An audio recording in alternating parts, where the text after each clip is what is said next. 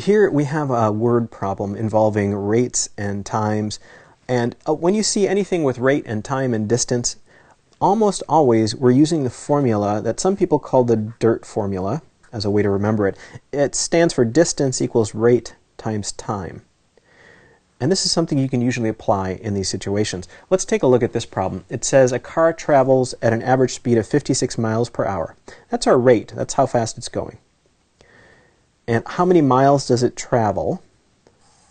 That's a distance they're looking for, so we're looking for d in 3 hours and 45 minutes. So if we plug these things into our DIRT formula here, we're looking for distance, so we'll just leave that as d.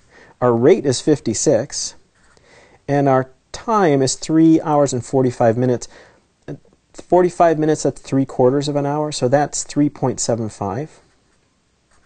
So we're just going to multiply 56 times 3.75.